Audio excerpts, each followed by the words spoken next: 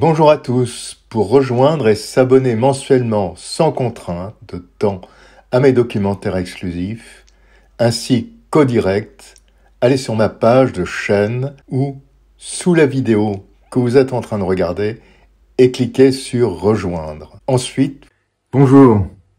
Aujourd'hui, nous allons revoir ce qui s'est passé en Bosnie-Herzégovine et nous allons voir l'implication des États-Unis dans cette guerre l'implication des États-Unis dans cette guerre à travers, à travers des combattants étrangers. Parmi ces hommes, Eman Awan, un Syrien. C'est l'un des premiers à arriver en Bosnie et il va devenir l'intermédiaire incontournable entre les autorités bosniaques et les chefs des combattants étrangers. On le voit ici discutant avec le président bosniaque Ali Zebegovic. Cette guerre, qui, je vous rappelle, a fait en tout cas pour ce qui est croate, bosniaque et serbe, à peu près 120 000 morts. Et voici un personnage que vous connaissez bien si vous me suivez sur YouTube. Il s'agit de Madeleine Albright. Ouais, Madeleine Albright. Today, we are dedicating the future site of the American Embassy in Sarajevo. The undivided capital of the independent and sovereign state of Bosnia-Herzegovina. Without seeming too presumptuous, I would like to repeat the words stated more than 30 years ago by President Kennedy, Yasam Sarayevka.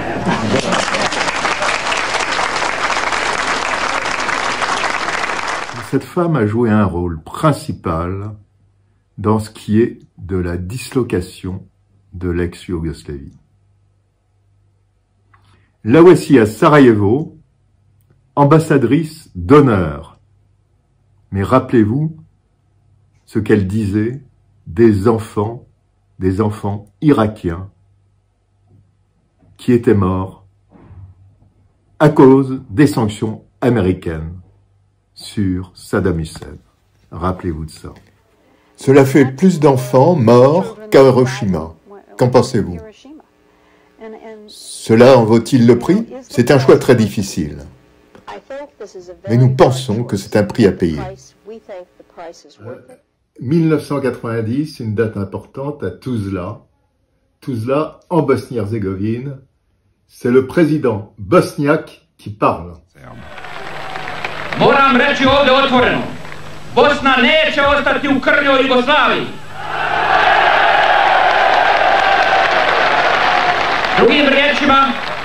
Bosna ne u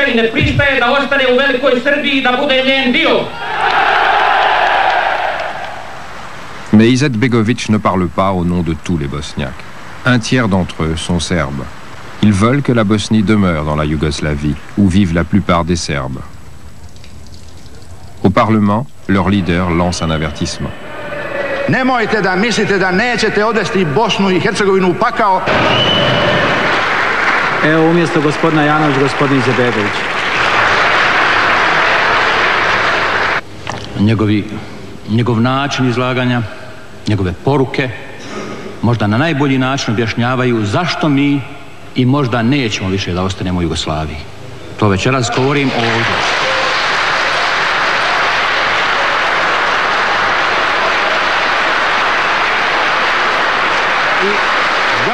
L'implication de l'Allemagne auprès de la Croatie pèse, pèse beaucoup dans l'avenir de la Bosnie-Herzégovine. Il faut préciser qu'au début de ces tensions, la Croatie était déjà indépendante, c'est-à-dire en 1991. The Germans bludgeoned the rest of the community into recognizing the rebel republics. They'll recognize Slovenia and Croatia on Thursday, regardless. Es hat sehr viele Spekulationen gegeben, die Bundesregierung könne in dieser Frage isoliert sein. Aber es war eine sehr, sehr schwierige Verhandlung und ich sage, das Ergebnis übertrifft die Erwartungen, die wir La Croatie a voté pour son indépendance. Les Bosniaques veulent la même chose.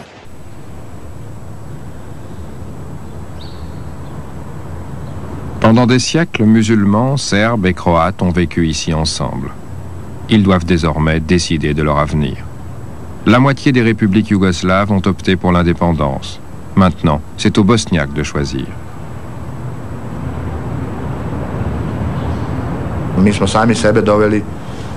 On avait créé une situation dans laquelle la Bosnie était condamnée. La quasi-totalité des Serbes voulaient rester dans la fédération yougoslave. Mais les musulmans et les Croates voulaient en sortir. Le président Izetbegovic organise donc un référendum sur l'indépendance. Et comme les musulmans et les Croates sont majoritaires, sa volonté l'emporte. Comment la guerre a-t-elle commencé? Ce sont les nationalistes qui ont foutu le bordel à la victoire élections. So we, we, are, ex we are expecting the very fast recognition of the republic. Il pense certes qu'il y aura des troubles, mais ne se doute pas qu'ils viendront de son propre camp. Tout commence lors d'un mariage serbe, quand les invités arrivent. Un musulman tue le père du jeune marié. La nuit même, les Serbes se vengent.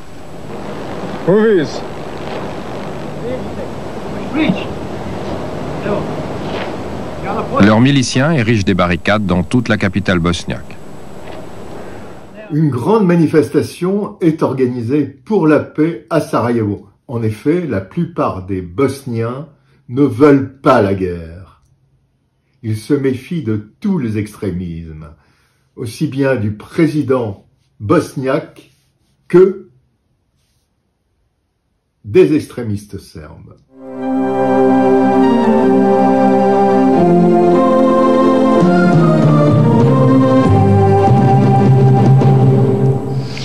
Predsjedniče Karadžiću, predsjedniče Izetbegoviću, e, kao ljudi koji predvodite dva naroda, vi znate koja je u ovom trenutku vaša odgovornost. Mi apelujemo u ime javnosti koja se javlja masovno telefonima i koja predlaže vaš sastanak. Izetbegović demande la police et aux milices bosniaques de défendre le pays.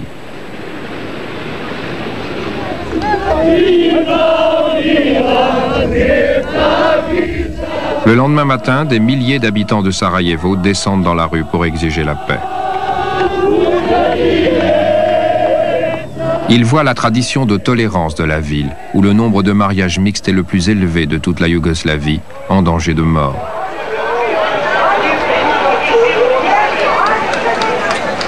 Ils investissent le Parlement.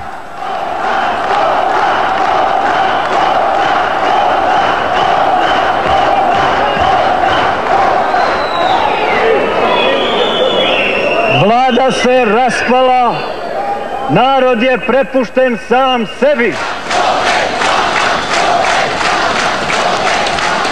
Il s'oppose au nationalisme, d'Izet Begovic comme de Karadzic. Le leader serbe les observe depuis son bureau de l'Holiday Inn juste en face. Mais, problème, la foule se précipite vers le QG de Karadzic. Karadzic, le serbe. Et le docteur Karadzic appelle des policiers et ceux-ci, malheureusement, tirent. Il y aura six morts. Très vite, la police d'Izet Begovic reprend le contrôle du centre, son bastion.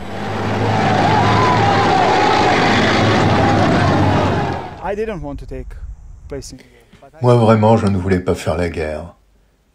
J'avais voté au référendum pour l'indépendance de la Bosnie-Herzégovine. Nous ne voulions pas être dirigés par des gens qui usent de leur pouvoir. Par exemple, Slobodan Milosevic qui ne voulait pas voir la Bosnie comme le creuset de toute la nation, avec des Croates, des Serbes et des Bosniaques. Les Serbes se décident à lancer l'assaut contre Sarajevo.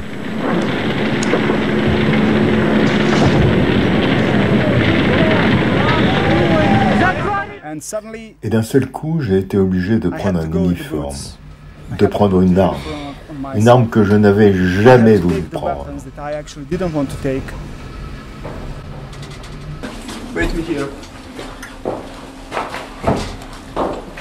Si je pouvais, je casserais la crosse de mon fusil au coin de la maison.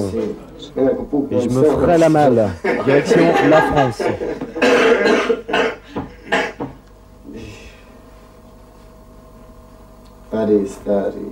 Paris, mon vieux, c'est les balades. Et moi, je suis là à attendre comme un con de prendre une bastos dans la tête.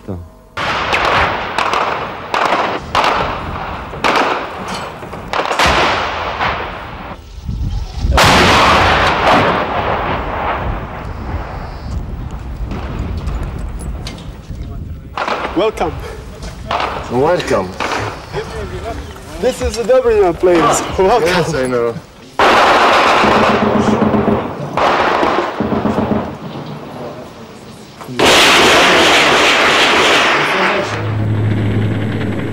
Attaquant sur trois côtés, les forces serbes, appuyées par les chars et la puissance aérienne de l'armée fédérale, convergent vers le centre.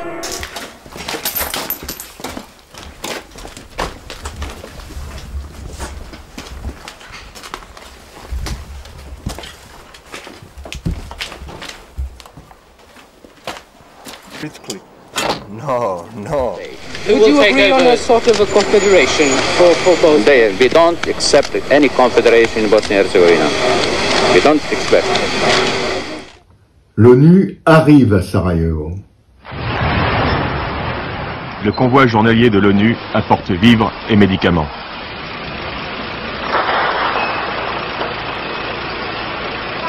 Ce sont les obus qui viennent d'où?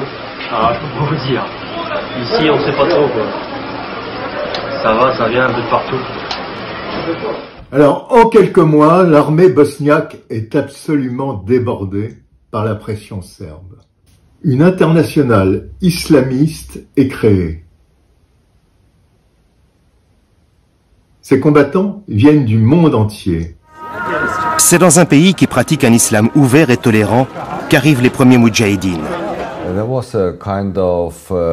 Il y avait une sorte d'agence humanitaire appelée l'Agence d'aide au tiers-monde, la TWRA.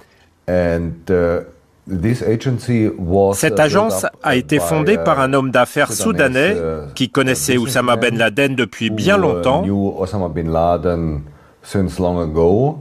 Et ce sont eux qui organisaient l'acheminement des Moudjahidines en les faisant venir sous le couvert de membres de l'association. Parmi ces hommes, Eman Awan, un Syrien.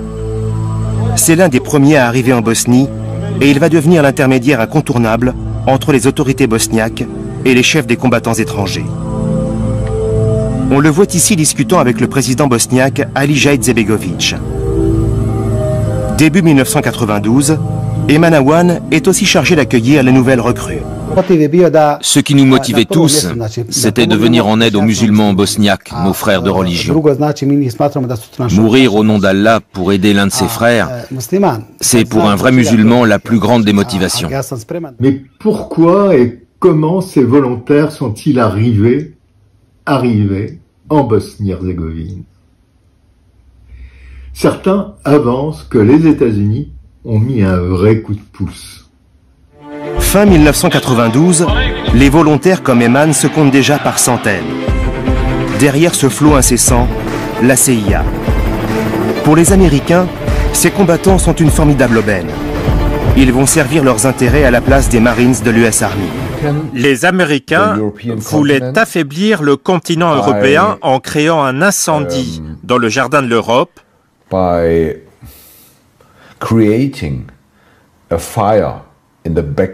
Et donc, dans les Balkans. Pour faciliter l'arrivée des Afghans, ils utilisent la Croatie du président Tudjman. Les troupes sont acheminées par le port de Split et se rendent au front avec la bénédiction des Croates. Au début... Pendant de longues années, j'ai été le directeur des services secrets au sein du commandement de l'armée de Bosnie, et ce jusqu'en 2002. Je sais donc de sources sûres, à travers les nombreux contacts que j'ai eus avec la CIA et les autres services de renseignement, que les Afghans étaient acheminés grâce à un accord passé avec l'armée croate, c'est-à-dire le président Tudjman lui-même. Le but était de provoquer le chaos et la guerre. Pour mener leur campagne guerrière, les Américains vont s'appuyer sur les riches monarchies pétrolières. Armes, troupes et équipements sont acheminés avec l'appui de la CIA. Mais les fonds viennent de pays comme l'Arabie saoudite, la Turquie ou même l'Iran. Comme vous allez le voir sur ces images, ils sont reçus officiellement par le président bosniaque. Le côté opérationnel de la brigade est pris en main par Abou El Mali, un Algérien que l'on surnommera le petit Ben Laden en raison de son extrémisme.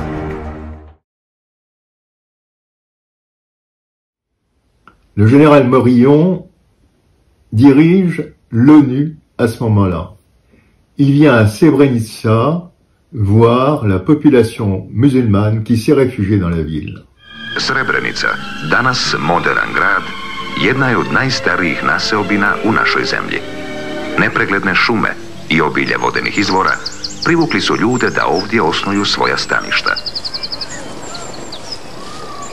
Dans les premiers mois de la guerre, Srebrenica est devenu le refuge de milliers de musulmans chassés de chez eux.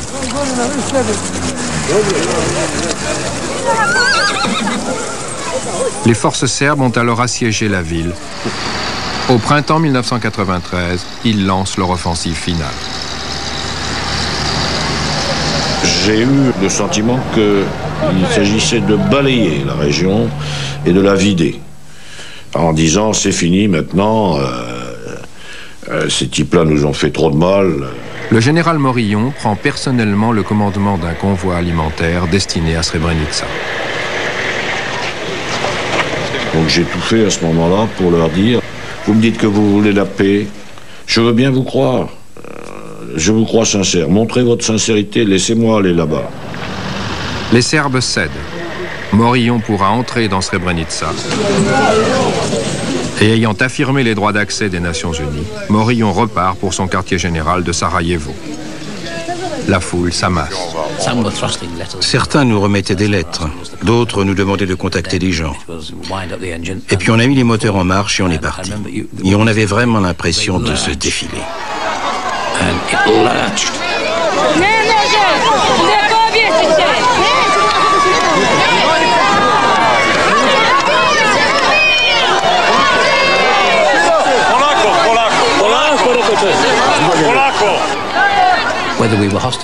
Je ne sais pas si on était otage ou prisonnier, mais en tout cas, on ne pouvait plus bouger.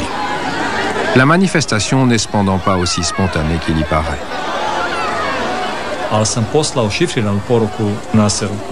J'avais envoyé un message codé à notre commandant qui disait « Bloquez Morillon à Srebrenica jusqu'à ce qu'il garantisse la sécurité de la population là-bas. » Deux jours durant, Morillon est retenu dans le bâtiment de la poste. Il lui faut s'échapper. Il m'a dit As-tu un drapeau J'ai dit oui. Un drapeau de l'ONU Oui. Formidable. Il m'a dit Il me faut un porte-voix. Quelqu'un en a-t-il un Et on en a trouvé un. Alors le général, avec la voix de quelqu'un qui fume 40 Davidoff par jour, a hurlé dans son porte-voix. I have now decided to stay here in Srebrenica. You are now under the protection of the UN forces. Il a décidé de rester. On pensait tous qu'on était prisonniers. Mais le général a retourné la situation et ils applaudissaient. But if this doesn't work, General, what do you think it will do to the people? Because they it, will, it will work. It will work. Le général Morillon a pris beaucoup de risques. Je crois que si on les réécoutait, un certain nombre de choses qu'il a dites sur l'instant pouvaient induire en erreur, voire même excéder un peu la limite. De fait, la promesse de Morillon est rapidement mise à dure épreuve.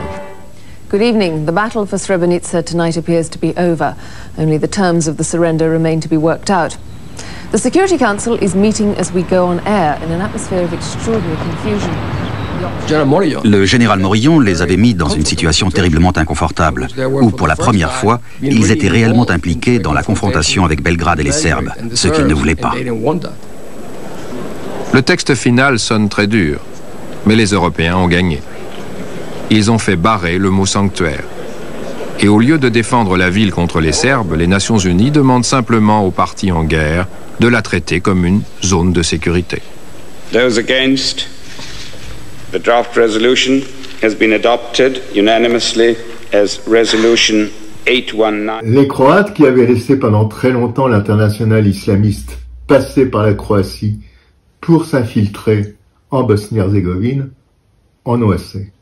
Ils en ont assez, ils ont eu des soldats de tuer, d'égorger, ils en ont marre. Ce qu'ils voulaient, c'est mener un djihad contre tous les chrétiens.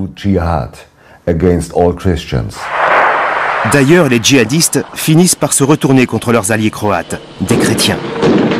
Au printemps 1993, excédés, les Croates coupent les voies d'acheminement qui traversent leur territoire et font prisonnier plusieurs moudjahidines. Leur réponse va être cinglante. Les volontaires étrangers à ce moment-là se retournent contre leurs anciens amis. Quelques semaines plus tard, lors de deux opérations spectaculaires, le commando enlève quatre membres des services secrets croates, six soldats, ainsi que le commandant en second de l'armée croate.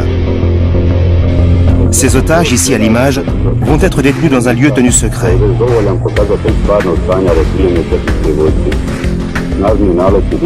Mais surtout, le 15 avril 1993, les Moudjahidines s'offrent une prise de choix. Le commandant en chef des forces croates en Bosnie. Le commandant va se plier à une humiliante mise en scène. Djeločan Katotić, zapovjednik brigade Hrvatskog vječa obrane Jura Francis Stenice, što hoću ovom prilikom da kažem. Obraćam se posebnim institucijama Hrvatskog vječa obrane, Hrvatske Bosne, sa molbom, a i na traženje Međunarodnog crvenog križa, kako bi se naša razmjena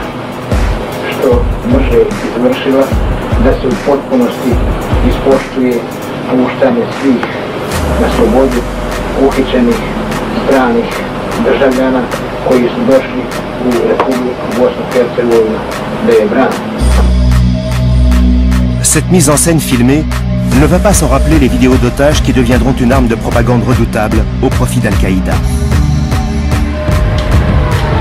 Excédés, les Croates, les casques bleus et même les Bosniaques vont ordonner aux Moudjahidines de relâcher leurs otages. Dans les montagnes des Balkans, la traque est lancée. On veut retrouver les ravisseurs. Sans succès. En mai 1993, les Croates, la force internationale et les Bosniaques capitulent. L'échange des prisonniers a lieu sous l'égide des Nations Unies.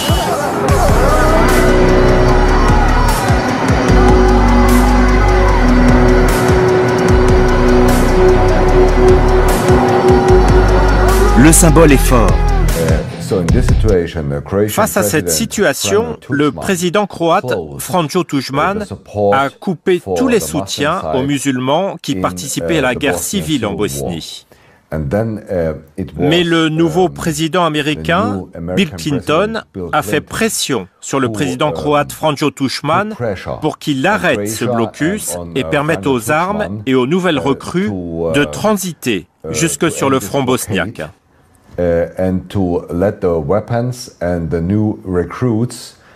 Et ce, même si celles-ci étaient des combattants d'Afghanistan qui venaient avec le soutien d'Oussama Ben Laden.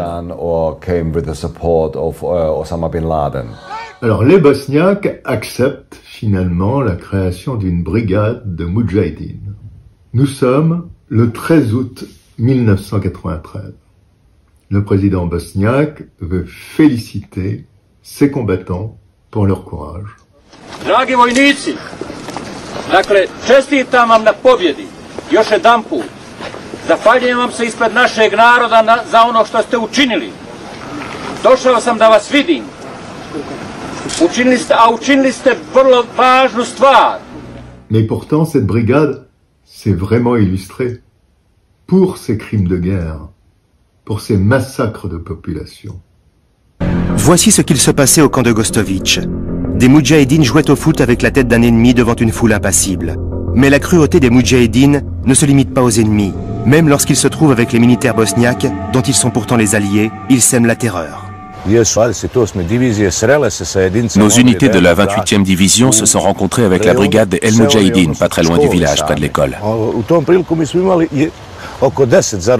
Nous avions dix prisonniers, des soldats de l'armée serbe de Bosnie, je crois. Les forces Mujahideen avaient arrêté une vieille femme. Dans ce face-à-face, nous en sommes venus. Je calme les choses. Ils voulaient nos prisonniers. J'ai donc dit à mon second de les emmener loin d'ici afin de les sauver. Pendant ce temps, les Mujahideen ont commis des atrocités sur la vieille femme qui avait plus de 75 ans. Ils l'ont égorgée. Puis ils ont commencé à insulter nos soldats, disant que nous n'étions pas de vrais musulmans, que nous n'étions pas liés à l'islam. Alors, afin d'éviter la confrontation, je m'en suis sorti par un coup de force. J'ai tiré sur toutes les chopes de bière avec mon pistolet. Quand ils ont vu que j'avais détruit les canettes d'alcool, ils sont partis. Ça a sans doute évité un affrontement sanglant car les fusils étaient prêts à tirer des deux côtés, comme entre deux ennemis.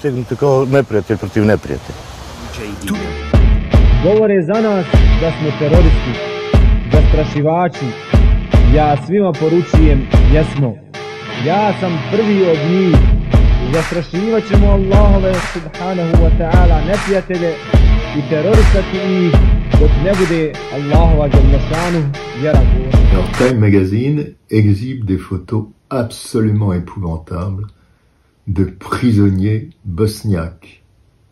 C'est une horreur.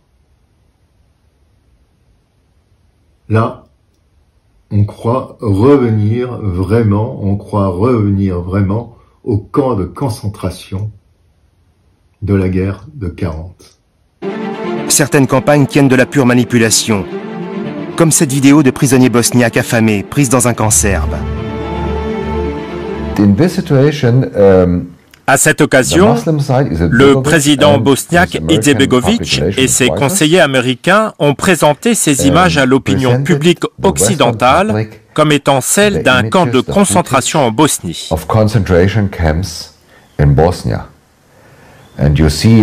Sur la première page de Newsweek ou du Time Magazine, par exemple, on voit des prisonniers musulmans derrière des barbelés, exactement comme à Auschwitz. Et du jour au lendemain, les Serbes sont apparus comme les nouveaux SS et les musulmans comme de nouveaux juifs. Mais c'était de la manipulation, car il ne s'agissait pas d'un camp de concentration.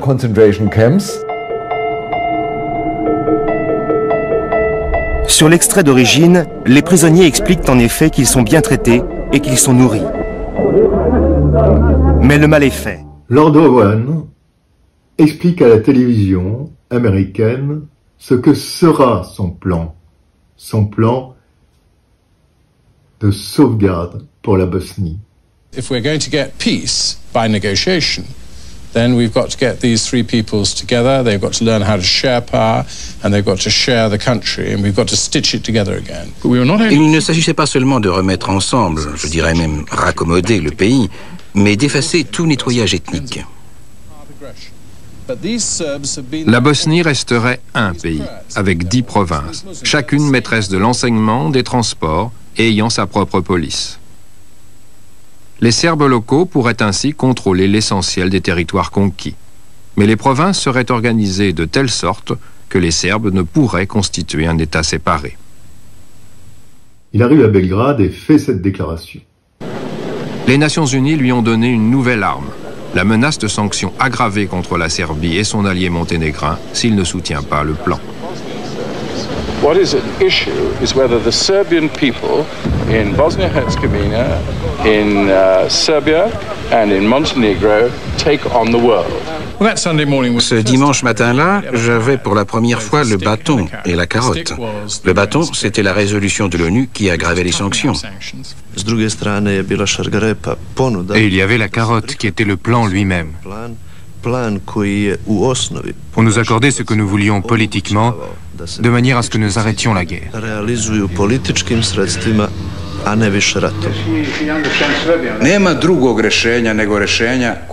L'essentiel pour nous, c'était une égalité de traitement pour tous les groupes ethniques. Et le plan Van nous la garantissait. Le président bosniaque, Alija Izetbegovic, a déjà approuvé le plan, de même que le président Tudjman de Croatie et les Croates bosniaques.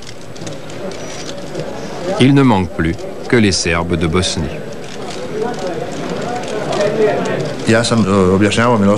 J'ai dit à Milosevic, si nous signons, il y aura d'énormes troupes des Nations Unies qui seront déployées ici, et nous serons isolés. Mais Owen est convaincu que le président Milosevic, maître du jeu sur le plan financier et militaire, obtiendra leur signature. Ελπίζω και προσεύχομαι το μήνυμα από την Αθήνα προς τους βασανισμένους λαούς της Βοσνίας Ερζεγοβίνης να είναι μήνυμα χαρμόσυνο. Dès la fin de la session formelle d'ouverture, Milosevic rassemble les Serbes bosniaques dans sa suite. Il les assure qu'en soutenant le plan, il ne les trahit pas. Karadzic ne saisissait pas tous les avantages de ce plan. Il était beaucoup trop obsédé par les problèmes territoriaux. Milosevic a dit Es-tu aveugle, Radovan? Tu ne vois pas que nous disons la même chose? Serions-nous si stupides?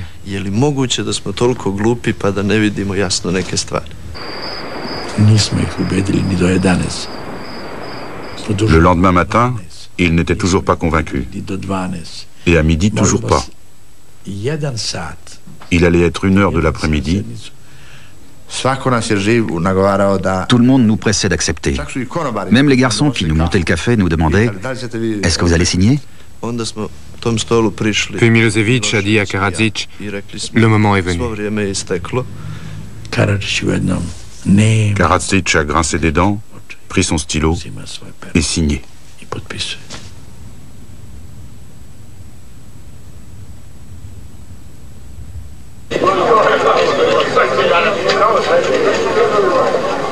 L'Assemblée des Serbes de Bosnie, c'est l'échappatoire de Karadzic. Il n'a signé à Athènes que sous réserve de ratification du plan. Les délégués serbes siègent dans leur nouvelle capitale autoproclamée de Pale, une ancienne station de ski. Le premier ministre grec Constantin Mitsotakis accompagne Milosevic. Karadzic explique dans quelles conditions il a signé le plan.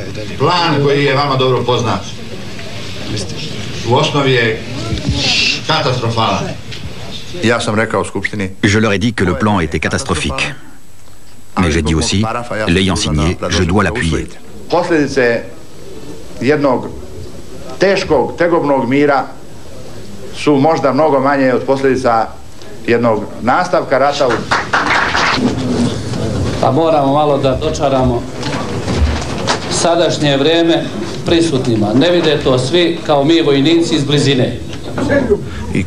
Quand nous avons vu ces cartes, Milosevic et moi avons été frappés de stupeur. Nous ne comprenions pas où il voulait en venir. I ovo je rezultat našega rukovodstva, našega naroda i naše vojske.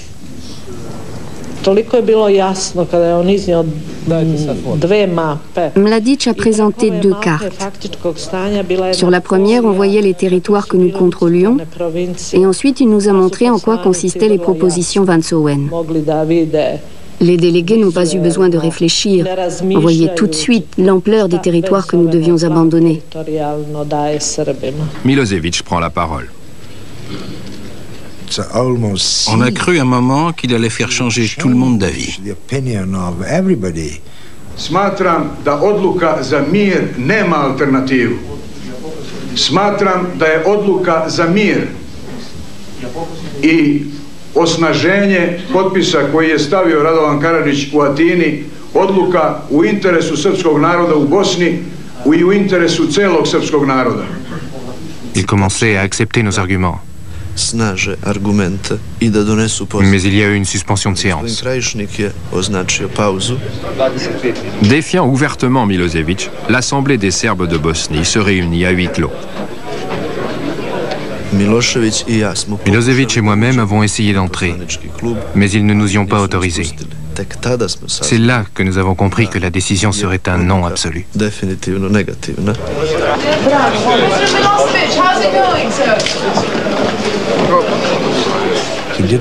Il n'a pratiquement rien dit, juste nous partons.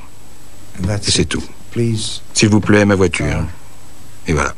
Alors finalement, finalement, grand désespoir, parce que c'était vraiment quelque chose de très intéressant, ce plan. Finalement, le plan sera rejeté. Alors, quelques semaines plus tard, un nouveau front s'ouvre du côté croate, car les Croates en ont assez. Ils veulent également bâtir un État en Bosnie-Herzégovine. Dans le sud, les Croates bosniaques, jusque-là alliés des musulmans, commencent eux aussi à bâtir leur État. Les Croates bosniaques se tournent contre leurs anciens alliés musulmans.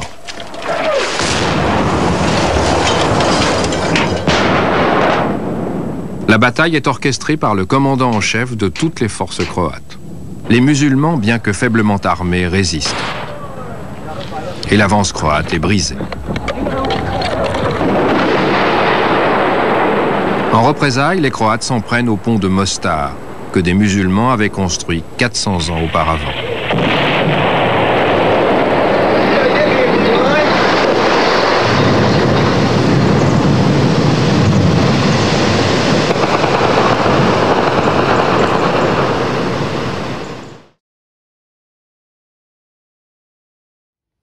Mais les Américains entrent dans la danse.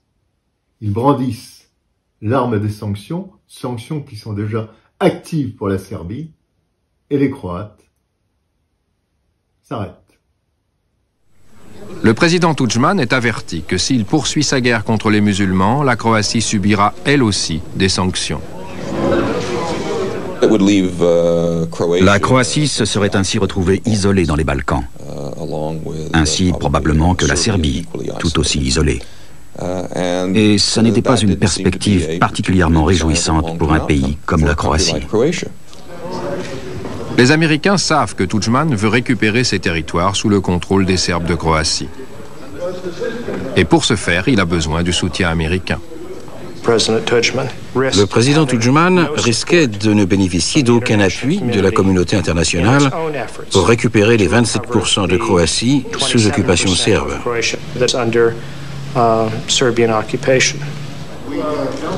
Tudjman choisit donc la voie américaine. En quelques semaines, le président Clinton voit sa diplomatie triompher.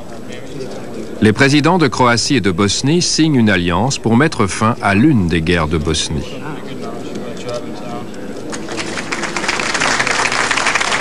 Il y a une explosion au marché de Sarajevo, nous sommes en février 1994.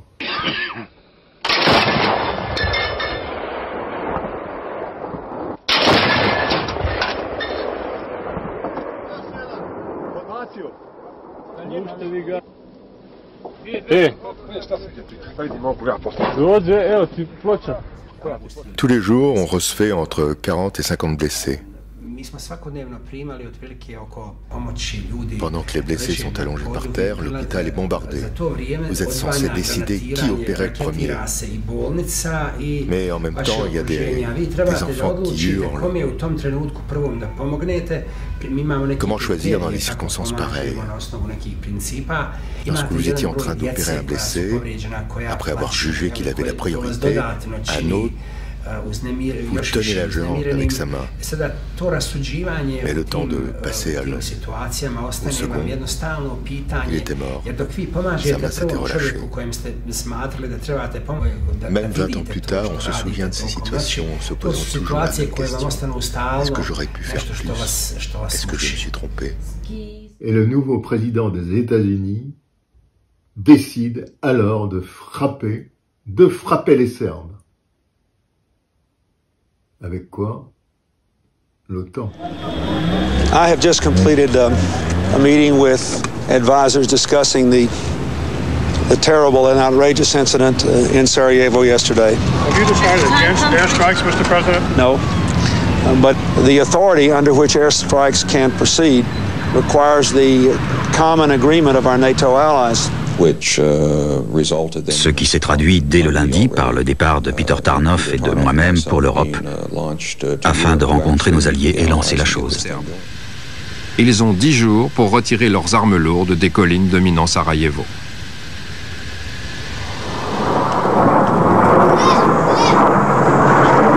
Srbi ni. I nema potrebe nama ultimatume da se Ne pravite razliku između ova dva... Nije nama ultimatum nikakav posao. J'ai rejeté l'ultimatum. CD n'aurait fait qu'ouvrir la porte à d'autres ultimatums de l'OTAN. Mais, en fait, les Russes interviennent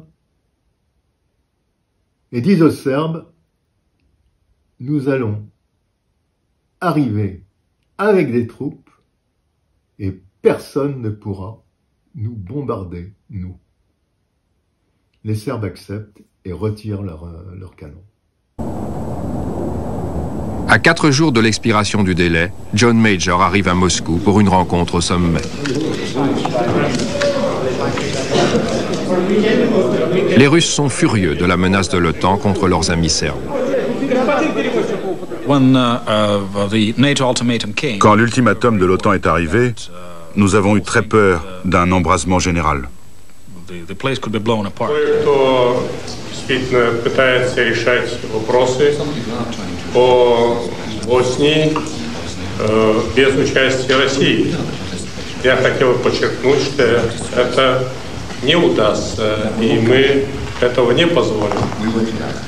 Quelques heures plus tard, un envoyé spécial arrive dans la capitale des Bosno-Serbes, porteur d'une lettre du président russe.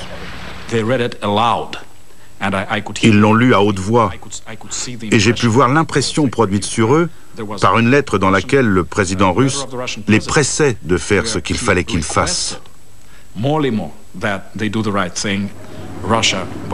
La Russie leur demandait de ne pas choisir l'affrontement, de reculer, et en guise de garantie, nous étions prêts à amener des troupes dans la région.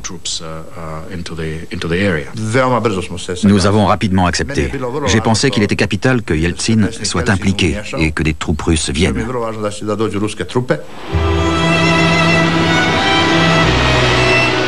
Le dernier jour de l'ultimatum, des colonnes de troupes russes arrivent.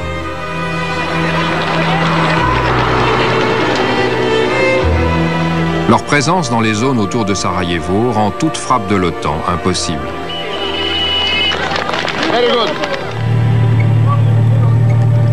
Les Serbes acceptent alors de retirer leur armement lourd.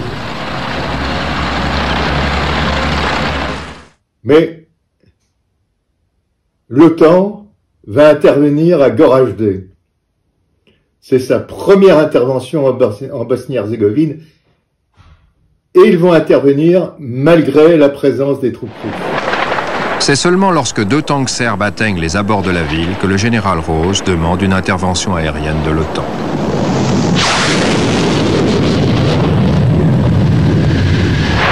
I got the target on my nose. Hey, what are you aiming at, Jim? I'm at it, right at the tent. We have bomb splash, bomb splash. Le premier bombardement dans l'histoire de l'OTAN frappe une tente, le PC serbe local. Mais les Serbes ne se laissent pas dissuader longtemps. Leur commandant, le général Mladic, riposte en se saisissant de 150 membres des forces de l'ONU sur son territoire. Ils sont désormais ses otages. Il nous a fait comprendre les limites et les difficultés du recours à la puissance aérienne lorsqu'on a des forces exposées sur le terrain.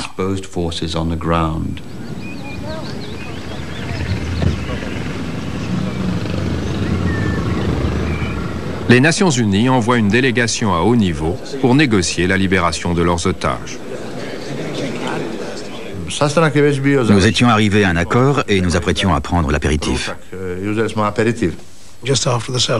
Juste après la salade, nous avons reçu un message urgent nous disant que le général Rose essayait de nous rejoindre.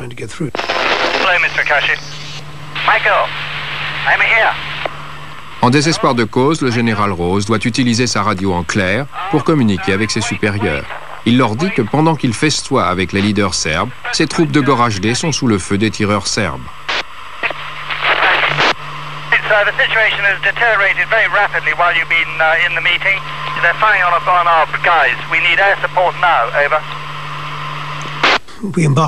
Ce fut une des aventures les plus surréalistes de ma carrière onusienne. Rose était à Sarajevo, Mladic à l'extérieur de Gorazde. J'étais ici et le représentant de l'ONU juste là. Nous avions deux cartes et deux téléphones. How about uh? Uh, sir, I don't think that by the time the message gets to the units on the ground, uh, they will all be either dead or captured, over. Nous étions dans la salle avec un soldat tenant un talkie-walkie dans lequel on entendait le commandant des Nations Unies envisager de faire bombarder les gens avec lesquels M. Karadzic était justement en train de discuter. J'étais furieux. J'ai demandé à Mladic, mais qu'est-ce que vous fabriquez? Le général Mladic répond à son chef que ces armes sont braquées contre la ville et non contre les positions des Nations Unies. Si les soldats des Nations Unies sont bombardés, c'est de leur faute. J'ai insisté en disant que Rose nous disait la vérité. Et puis les Nations Unies ont reconnu que leurs troupes n'étaient pas là où elles auraient dû être. Et l'offensive serbe se poursuit. Cette nuit-là, le gouvernement bosniaque somme M. Akashi et le général Rose de venir s'expliquer. What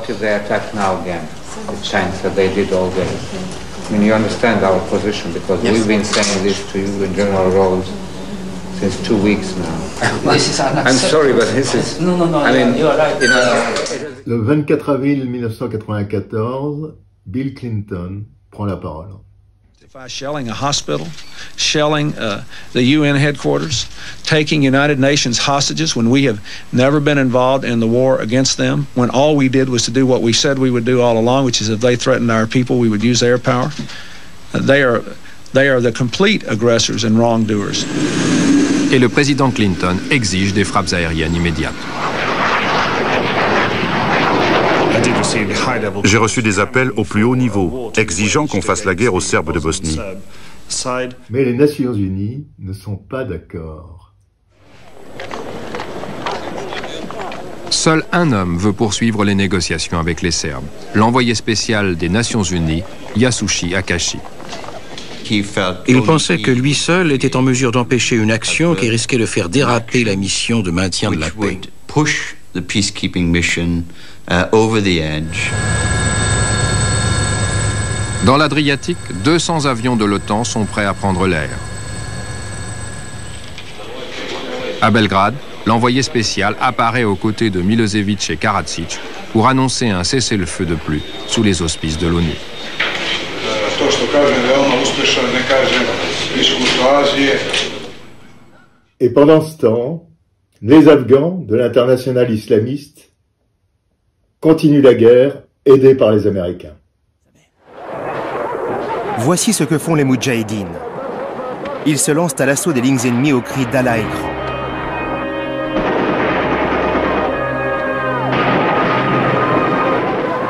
Avec de tels combattants, des postes réputés imprenables tombent les uns après les autres. Ils étaient d'une brutalité extrême, cruelle.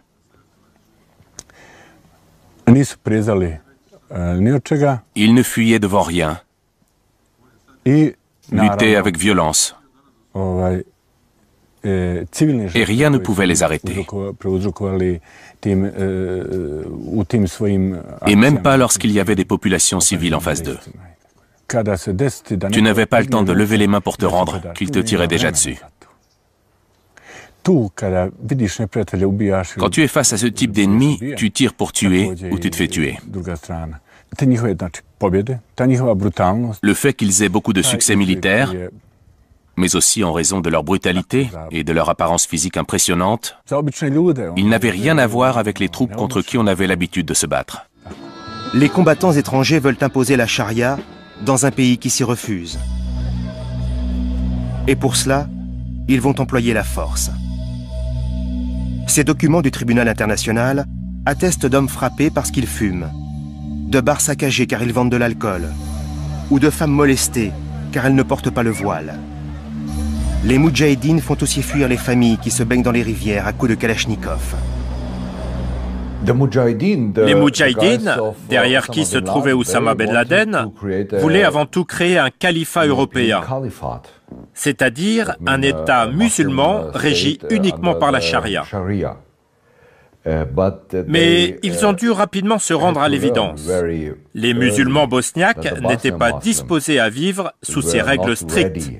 To live under these strict rules because the Bosnian Muslims are D'ailleurs, ceux-ci étaient en grande majorité des modérés qui avaient vécu en très bons termes avec les Croates et les Serbes, qui étaient tous chrétiens. Ils ont réussi quelques belles opérations militaires. Mais au final, tout ce qu'ils ont fait, c'est commettre des atrocités. Ils ne nous ont rien apporté. Malgré l'importance qu'ils avaient au sein de notre armée, ils ne nous ont rien donné de bon. Leurs actes ont juste terni l'image de tous les soldats de l'armée de Bosnie. À l'image de ce colonel, plusieurs hauts gradés bosniaques manifestent leur colère auprès de leur hiérarchie. Mais la brigade El Moudjahidine a su se rendre incontournable et le pouvoir fait la sourde oreille. Le président bosniaque Alija Izetbegovic et son gouvernement de l'époque étaient d'accord pour dire que bien qu'ils aient reçu ce dont ils avaient besoin de la part des Afghans, ils avaient aussi reçu beaucoup de choses dont il se serait bien passé. En disant ça, il faisait allusion à la radicalisation islamiste et à ces extrémistes qui faisaient la promotion d'idées totalement étrangères à la culture locale. Des idées qui, d'ailleurs, dès le début, n'étaient pas acceptées par les musulmans de Bosnie. Et la guerre continue dans toute son horreur. Habitants et combattants la condamnent, quel que soit leur côté. Voilà, avec cette politique de malheur, nous en sommes là. Des hommes innocents s'entretuent. Mais qu'est-ce que ça veut dire? Ça va recommencer dans 10 ou 15 ans Voilà mon fils qui arrive. À votre santé, que Dieu vous garde. Cache ton ventre. Mais au contraire, qui veut que je suis fort. De nouveau, ça recommencera. De grosses erreurs ont été commises quand je pense à tout ce gâchis.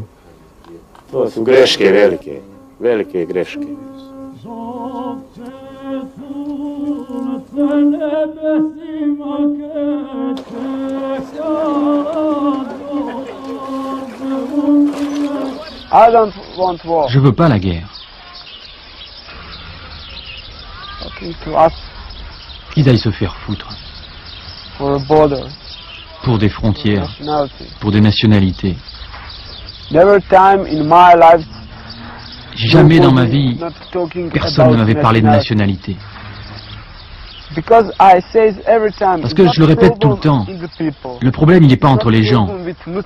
Il n'y a pas de problème entre les musulmans et les Serbes. Il n'y a pas de problème entre les Serbes et les Croates. Parce qu'ils sont tous bosniaques. Le problème il est chez les hommes politiques.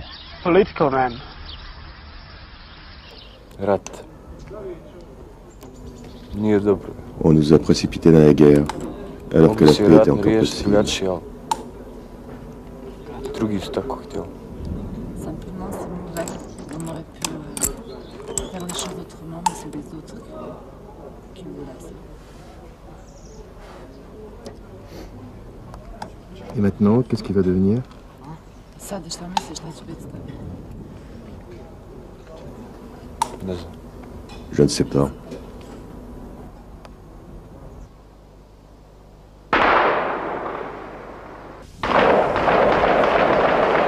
Voilà, et nous voilà en mai 1995. Les lignes de front n'ont pas bougé. La guerre continue, mais les lignes de front n'ont pas vraiment bougé. Et la tension atteint son paroxysme lorsque les Serbes prennent une position clé à Sarajevo. Une position clé qui était tenue par les forces françaises. Et il y a des prises d'otages. Alors moi, je crois que c'est là où la force de l'ONU bascule complètement.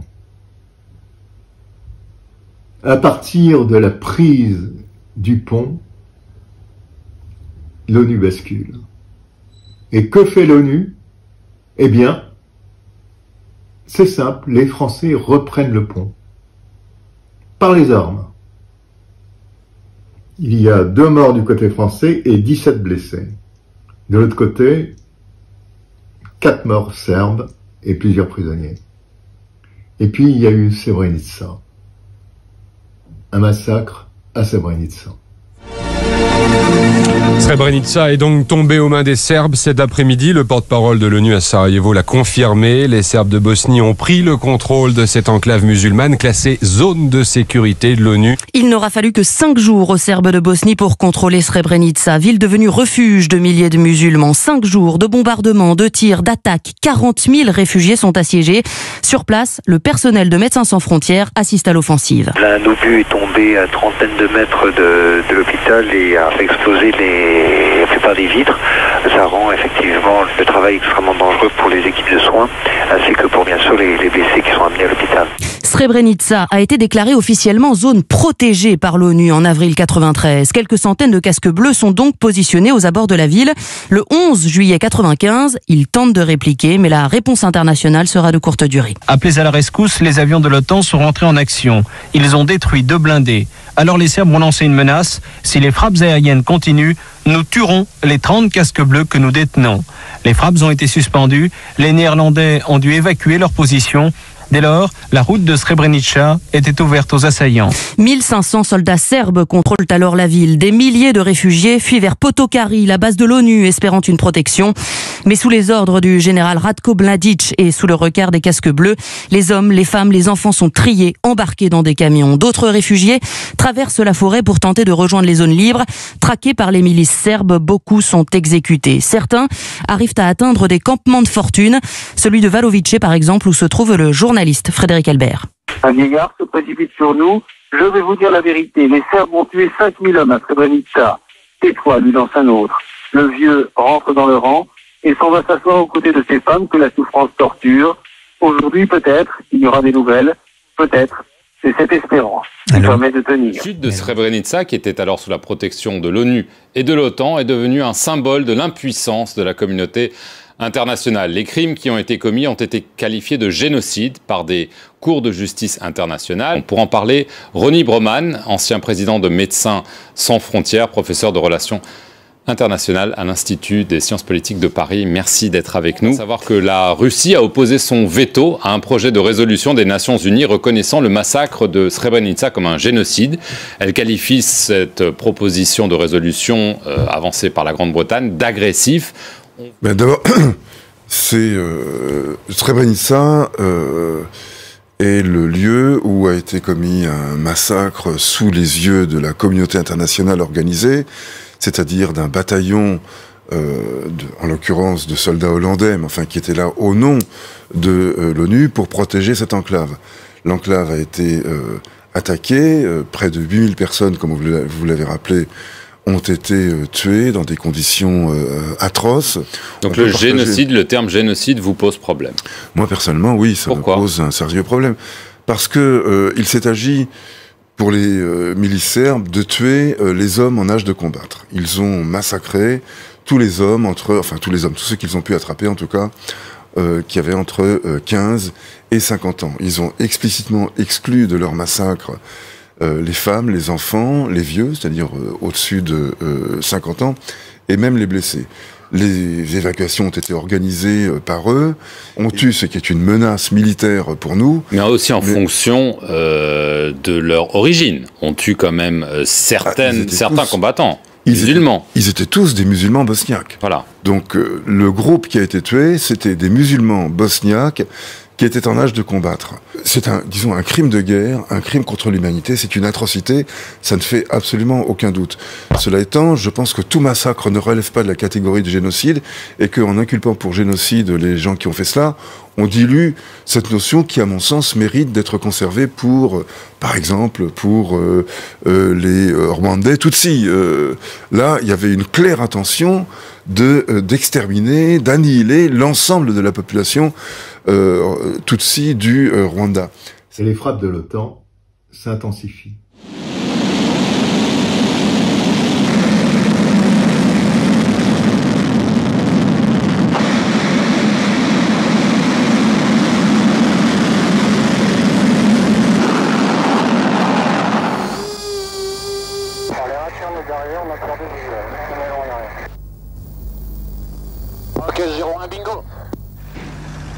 Sarajevo, le mardi 21 novembre 1995, il est 10h du matin, Sniper Avenue est calme.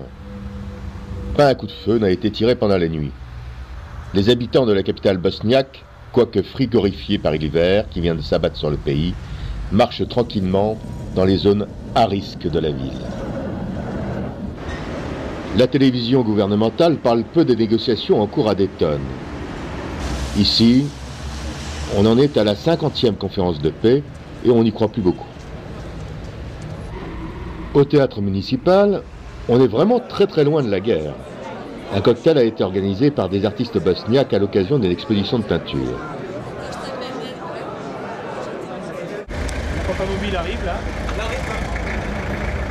Le colonel Kai est en charge de la protection de l'aéroport ainsi que de les zones les plus dangereuses de la capitale bosniaque. C'est lui qui contrôle les lignes du front d'Elidja, de Ningarechi, ainsi que du Mont Iman. Sa principale mission, veiller au respect du cessez-le-feu. Il a ainsi des contacts permanents avec les officiers bosniaques et serbes. Ne restons pas trop là. L'accord de paix a été repoussé?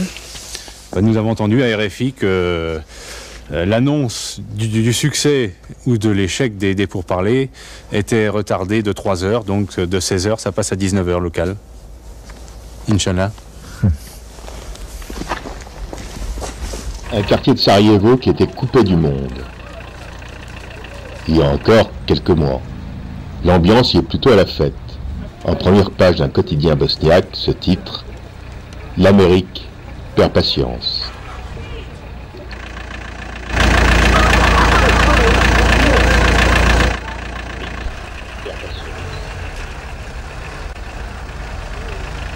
Depuis le début de la guerre, un hôpital, sponsorisé par l'Arabie saoudite, a été installé ici.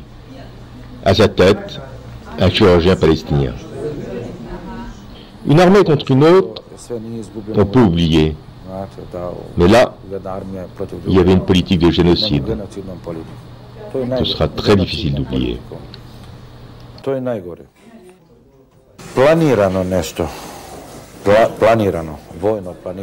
Moi, je trouve qu'il était normal que les Arabes aident les musulmans.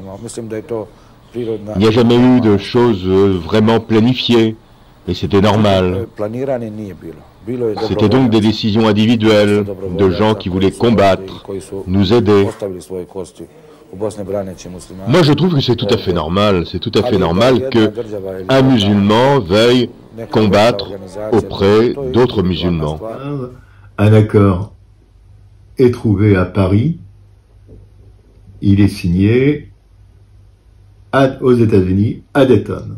L'accord prévoit en résumé que la Bosnie reste un pays uni composé de deux entités. La Serbe, en orange, compte 49% du territoire et la Fédération des Croates et des musulmans, en jaune, qui en obtient 51% dont Sarajevo. La capitale est réunifiée, les quartiers serbes passent sous contrôle croato-musulman. 45 mois après le déclenchement des hostilités, les présidents Milosevic de Serbie, Tudjman de Croatie et Izetbegovic de Bosnie-Herzégovine se sont assis à la même table pour signer.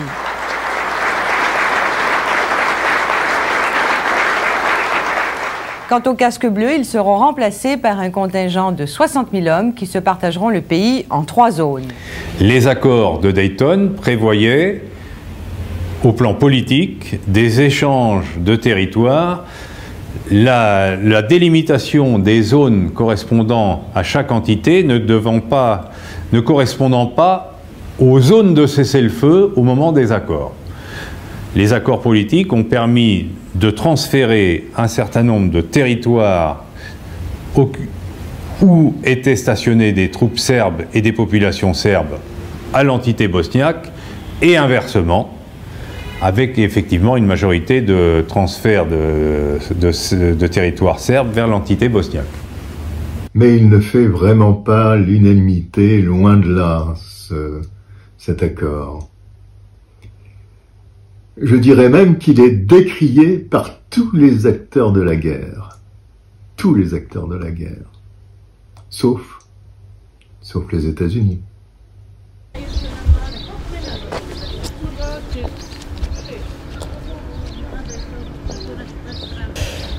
Euh, en fait, après euh, les accords de Dayton, les protagonistes du euh, processus de paix ont décidé de diviser notre pays en deux entités, une qu'on appelle la République serbe et l'autre qu'on appelle la Fédération de la Bosnie-Herzégovine. Derrière cet immeuble, juste à 200 mètres d'ici, on a euh, l'entité qu'on appelle la République serbe en Bosnie-Herzégovine. L'agresseur a reçu comme un cadeau. C'est absurde.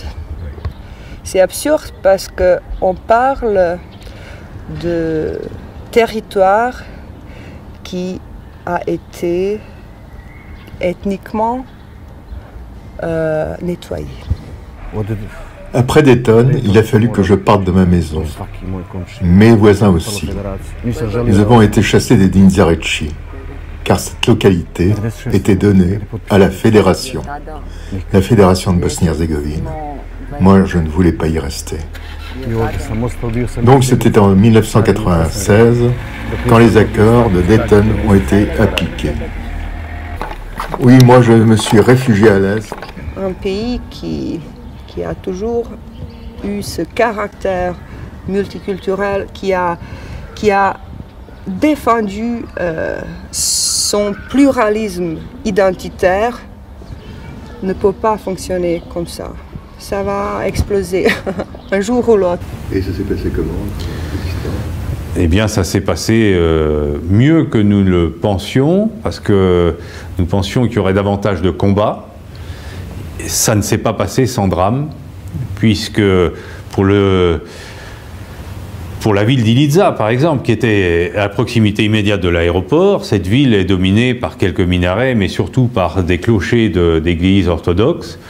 L'ensemble de la ville passant euh, sous contrôle de l'entité bosniaque, les populations serbes ont dû abandonner euh, leurs maisons, leurs églises, leurs cimetières, ça s'est pas fait sans drame.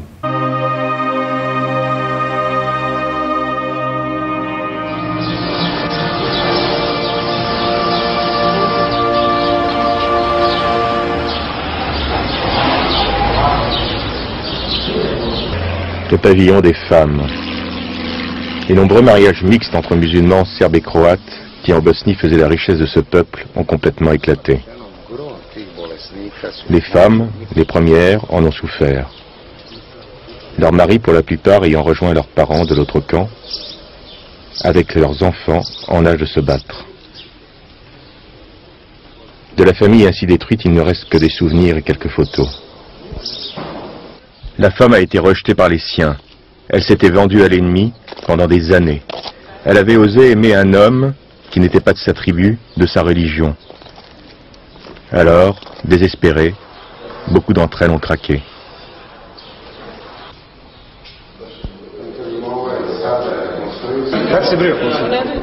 Et puis il y a celles qui ne savent plus rien de leur famille, qui un beau jour a disparu dans la tourmente. Ivana est de celle-là. Elle s'est trouvée un jour jetée sur les routes de l'Exode, ses biens confisqués. Elle n'a plus qu'un désir, qu'une obsession, rentrer. Rentrer à tout prix.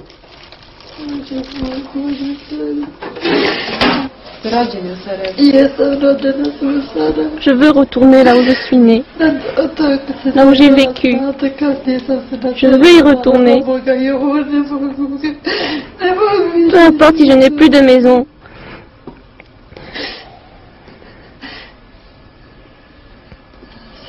Même si je dois mourir, je veux y retourner.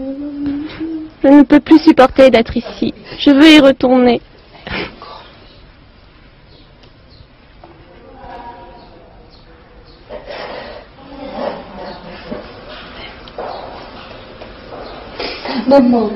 Je n'en peux plus. Je n'en peux plus. Je vais essayer de ne plus pleurer.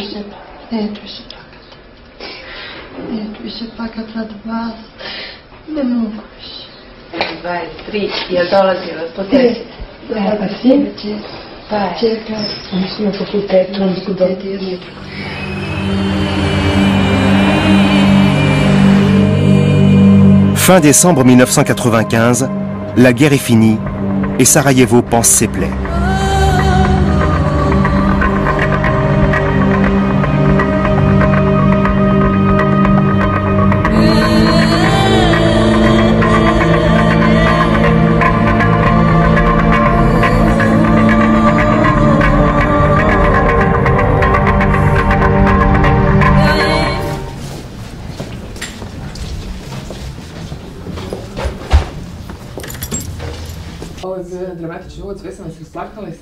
Je ne comprenais pas qui nous tirait dessus. J'ai mis un certain temps, à comprendre que c'était nos voisins, nos anciens copains. Ensuite, c'est curieux, mes amis, mes camarades mouraient tous les jours à côté de moi. Et pour moi, c'était devenu presque normal. C'est après la guerre que j'ai pleuré mes amis. J'étais dans un hôpital en Allemagne, j'ai été opéré deux fois. Et là, je me suis soudain rendu compte du vide qu'ils avaient laissé. C'était épouvantable.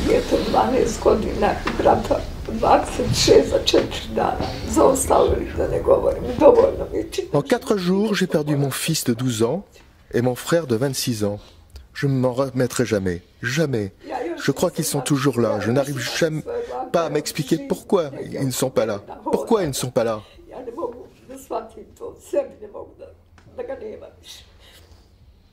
Et après les accords de Dayton, nous avons eu des modalités d'action quelque peu différentes et une subordination différente, puisque dès la, signature des accords de paix, de casque bleu, nous sommes devenus des soldats de l'OTAN qui imposaient une solution sur le terrain, avec des autorisations de mouvement, d'opération beaucoup plus larges que euh, celles que nous avions lorsque nous étions casque bleu.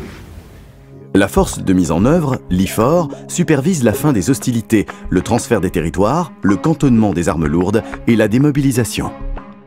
We created a ZOS, ZOS, Zone of Separation, 10 kilometre wide, a demilitarized zone where no heavy weapons could be uh, stationed. We had 60,000 troops, which meant that there was soldiers on every street corner. Considering it was NATO's first ground mission, I think it was a tremendous success. These were NATO-led operations, obviously based on NATO infrastructure, um, but they involved nations from outside of NATO participating, including the Russian Federation. En décembre 96, l'IFOR est remplacé par la force de stabilisation, la SFOR, qui compte 32 000 hommes. Pendant les neuf années de présence des forces de l'OTAN en Bosnie-Herzégovine, 43 pays d'Europe et du reste du monde mettront des troupes à disposition. Le nombre de soldats passera progressivement de 60 000 à environ 7 000. Ce traité qui, de l'avis de tous, même de nos parlementaires, est un mauvais traité. Intervention de Jean-Luc Mélenchon, sur la Bosnie à la Commission des Affaires étrangères de l'Assemblée nationale. J'oublie pas d'où on part. Euh, la Bosnie euh, est le résultat de, de, la méthode effroyable de démembrement de l'ex-Yougoslavie. Le point de départ est dans le fait que le gouvernement allemand a refusé d'entendre ce que demandait le gouvernement français, à savoir qu'avant qu'on reconnaisse les indépendances de la Croatie, de la Slovénie et euh, de la Serbie, chacun des gouvernements reconnaissent d'abord le statut de sa minorité. C'était la demande française. Les Allemands sont passés outre et ont reconnu en 48 heures des entités dont les frontières n'étaient pas définies et les minorités euh, euh non reconnues dans leurs droits. Ça, ce sont les faits. Pour terminer, après la déflagration générale, la Bosnie-Herzégovine, la Bosnie était le pays le plus multiculturel et multiconfessionnel de toute l'ex-Yougoslavie. Et nous pensions, nous défendions, ceux qui à l'époque s'en occupaient, euh, cette idée qu'il fallait leur donner leur chance. Euh, les conditions effroyables de la guerre civile en Bosnie, alimentées et financées par toutes sortes de gens tout autour, ont abouti à ce résultat qu'il y a trois collectivités, que chacune constitue une république sur une base ethnique et qu'elles sont fédérées dans la Bosnie euh, d'aujourd'hui. Euh, l'absence de l'Europe et, des pays européens, leur euh, tellement visible implication dans le chaos qui régnait, a été telle que ce sont les Américains qui, après être intervenus militairement sur la Serbie dans le cadre de l'OTAN, ont parrainé ce qu'on appelle les accords de Dayton. Les accords de Dayton, c'est typiquement une invention américaine, c'est-à-dire une fédération d'ethnies qui constitue un État. Voilà. Nous, les Français, on n'a jamais vu comme ça les États-nations. C'est pas notre façon de voir le monde, et nous ne croyons pas que ce soit une solution que de fabriquer un État en fédérant des ethnies, parce que les ethnies restent et les États disparaissent. Et c'est ce qui se passe. Ne perdons jamais de vue euh, les tendances longues et lourdes de l'histoire parce que sinon, euh, nous sommes, me semble-t-il, euh, condamnés à, à, l'angélisme. Naturellement, je ne dis pas que ce que j'en dis moi euh, veuille vous condamner à un regard noir sur l'histoire, mais réaliste. Hein. Dans cette zone-là, il n'y a pas d'innocent. Je suis tout à fait d'accord avec vous que, je l'ai dit, je le qualifie comme ça, les accords de Dayton ne sont pas un accord de paix. Voilà, c'est un accord de guerre. Mais que sont devenus les brigades islamistes? Alors beaucoup ont été obligés de quitter le territoire. Richard Holbrooke, le négociateur américain, impose aux Bosniaques de déporter tous les combattants étrangers, y compris ceux qui ont obtenu la nationalité bosniaque. À cette époque, près de 800 moudjahidines sont concernés, sur les 5000 qui sont venus en Bosnie. À contre-coeur, le président Izetbegovic s'incline. Alija Izetbegovic ne nous a jamais demandé de partir. Ce n'est pas dans les mœurs de ce peuple que d'expulser les gens qui les ont aidés. Mais bon, quand l'oncle Sam dit que c'est blanc, tout le monde dit que c'est blanc, et quand il dit que c'est noir, c'est noir pour tout le monde. Certains, en tout cas, sont restés et ont créé des familles. Oh my God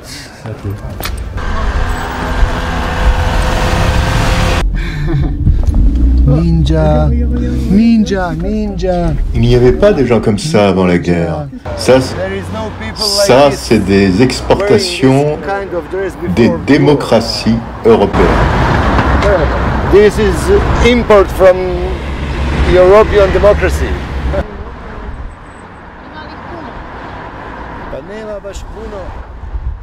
Il n'y avait pas ce genre de personnes à Sarajevo avant la guerre. Jamais nous aurions permis ceci. Nous étions pour un islam modéré, que chacun vive sa religion chez lui, pas pour ce genre de choses. Ceci est la conséquence de la guerre et l'arrivée du pays du Golfe. La religion joue un rôle très important dans notre société, qui est toujours laïque, mais la religion s'est euh, infilée dans le tissu politique, social. Donc il faut être très prudent et il faut permettre ce pluralisme identitaire. La religion, c'est quelque chose qui peut nous unir si on est religieux, si on est euh, croyant.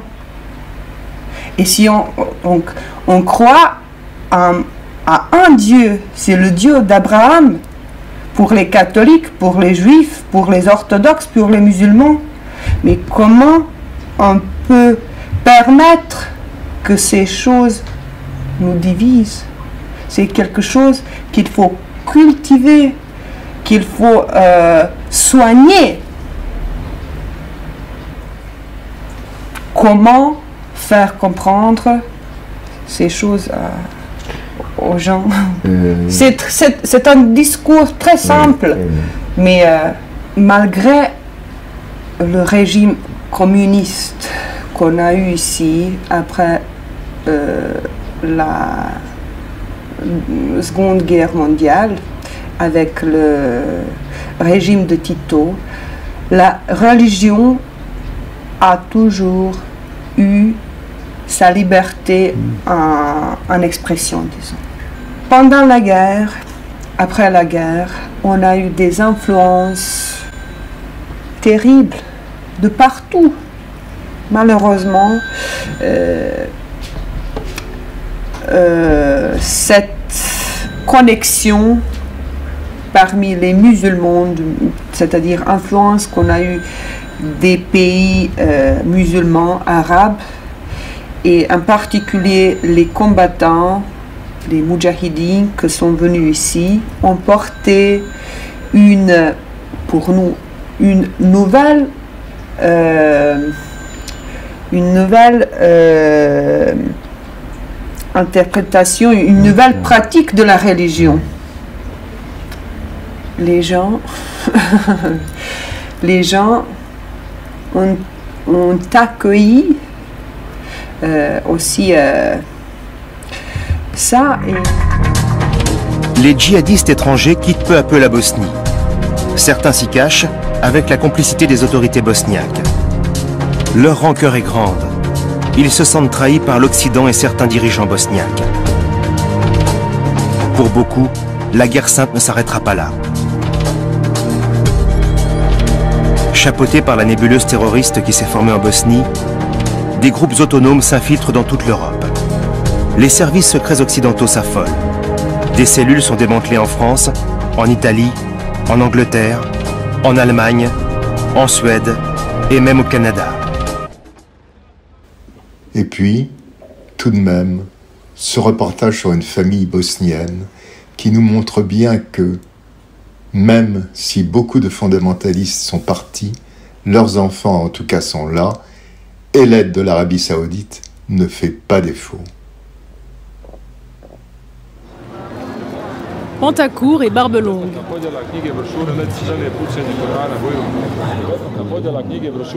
Ces jeunes Bosniens ne sont pas hipsters, mais salafistes. Ils veulent vivre comme leur prophète.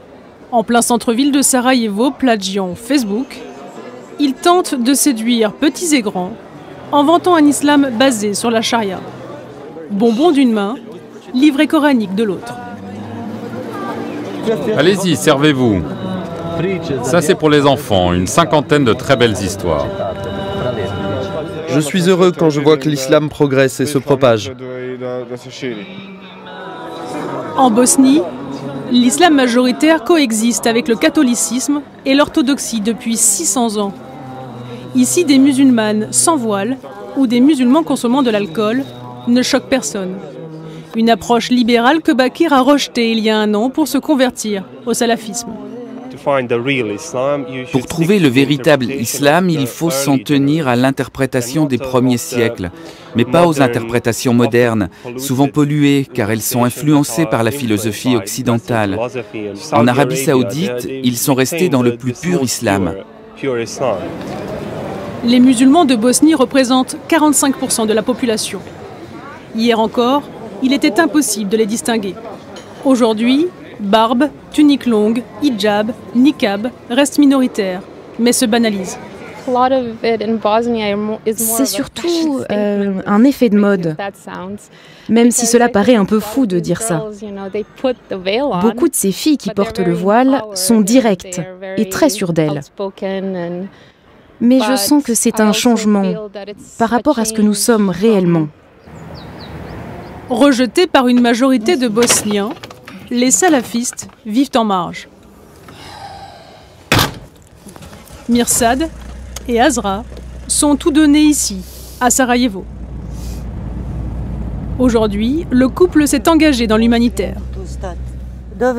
On ramène un fauteuil roulant à une petite fille de 7 ans, Sarah. On avait lancé une action pour elle. La petite fille est atteinte de plusieurs maladies lourdes. Ces photos seront postées sur la page Facebook de son ONG islamique pour générer des dons. Salam alaikum. Alaikum salam. Il faut juste gonfler les pneus. Qu'est-ce que tu en penses? Est-ce qu'on peut rentrer voir Sarah? À la première rencontre, la petite avait pris peur et pleuré. Mais elle a fini par s'habituer au voile intégral. En 2008, pour 20 millions d'euros, les Saoudiens érigent la plus grande mosquée des Balkans. Au pied d'immeubles toujours défigurés par la guerre, des milliers de croyants comme Bakir, chaque jour, s'y pressent. À l'intérieur, de larges salles de prière, mais aussi de sport, de cours de langue et de conférences. La mosquée passe pour radicale. Pour y entrer, l'imam a exigé que nous nous présentions à l'ambassade de l'Arabie saoudite. Elle acceptera car ce soir-là, le royaume envoie 50 Bosniens triés sur le volet faire le pèlerinage à la Mecque, tout frais payé. Moi, je suis revenu en Bosnie-Herzégovine deux fois pour voir des combattants, mais également pour prendre la température de la Bosnie. Arrivé sur la Sniper Alley, là, se dresse l'Assemblée nationale qui réunit maintenant les représentants élus de toutes les composantes serbes, croates et bosnien de l'État de Bosnie-Herzégovine. Cet immeuble, 20 ans auparavant, était le quartier général des francs-tireurs bosniaques. J'y avais rencontré un jeune homme, Goran, d'origine serbe, mais combattant contre eux, pour les forces bosniaques, qui m'avait interpellé. J'ai décidé de le revoir. C'est pour cela que j'étais à Sarajevo.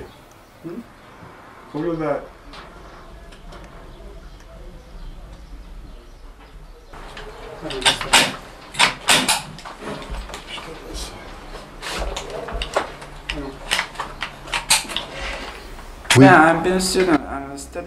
Je suis étudiant en biologie. Qu'allez-vous faire après la guerre?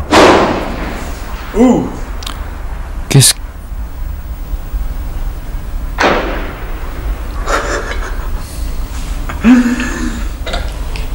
Qu'est-ce que moi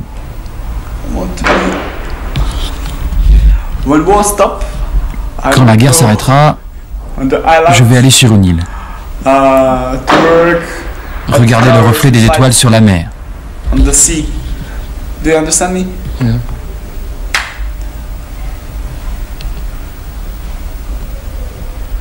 All fighters Tous les combattants après la guerre after the war ont besoin de paix. peace.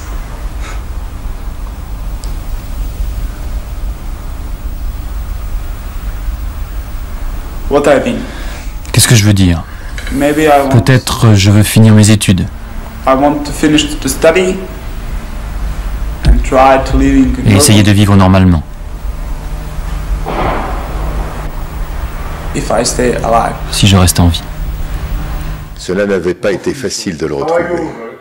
Dès la fin des combats, en 1995, j'avais essayé de le revoir en vain. Puis, grâce à YouTube, je réussis à le joindre après des années de recherche.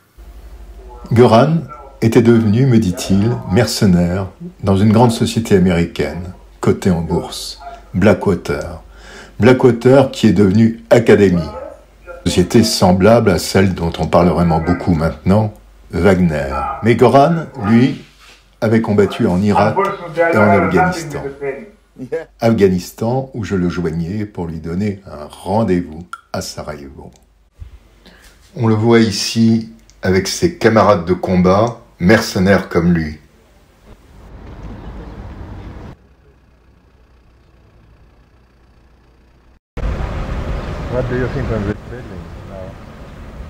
Alors, que pensez-vous de cet immeuble?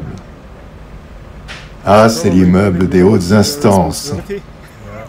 Vous connaissez cet immeuble? Ah oui, ah oui, je connais très très bien cet immeuble. Je connais chaque pièce, chaque étage de cet immeuble.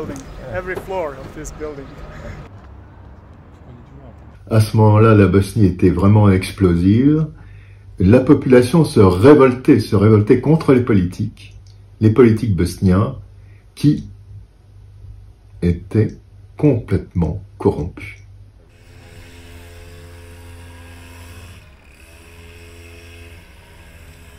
À la fin, quand Dayton a été signé, nous nous sommes tous retrouvés comme s'il n'y avait jamais eu de guerre. On a jeté nos armes. La politique est vraiment très bizarre à Sarajevo. Il s'agit d'un petit cercle de gens qui veulent dominer. Ils veulent des carrières. Ils ont tous bâti leur carrière sur ces croix blanches. Nous, on demande qu'une chose, du travail pour vivre, pour survivre.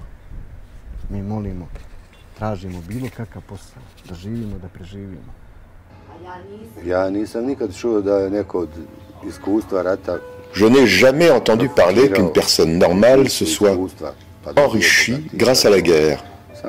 C'est plutôt le contraire. Il n'y a que les chiens de guerre et les politiciens qui en ont profité, ne sachant pas résoudre les problèmes que nous avions autour d'une table, mais par-dessous la table.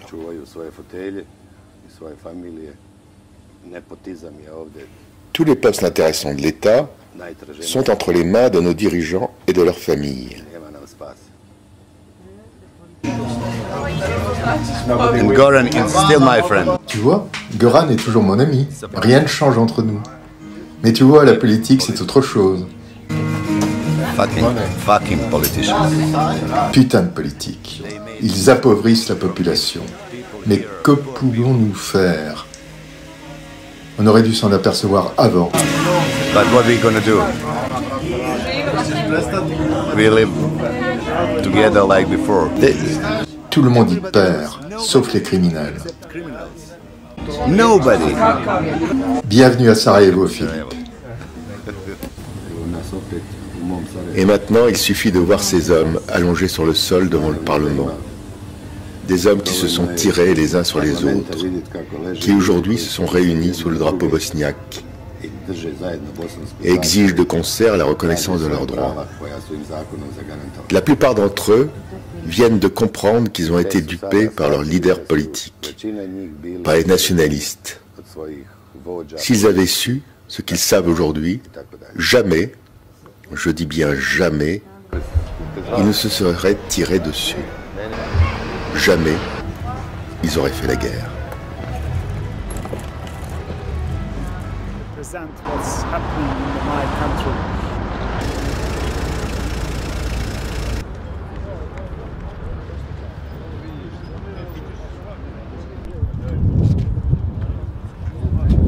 Non mais regardez, comme on dort, sur le béton, dans le froid, depuis 22 jours. On est des vétérans, on a fait toute la guerre depuis le début.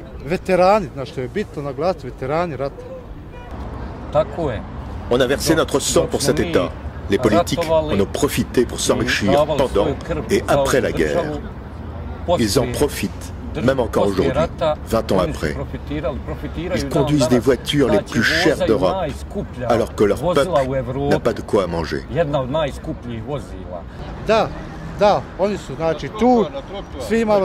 On est tous là réunis, serbes, croates, bosniaques, pour se battre contre l'injustice. Nous voulons notre dû. i bošnjaci, i srbi, i hrvati. Znači, znači svi su danas tu. Dok narod nema šta da jede. Vous avez des gens ici, moi aussi, qui ont emprunté de l'argent pour venir manifester. Et nos familles n'ont pas de quoi manger à la maison.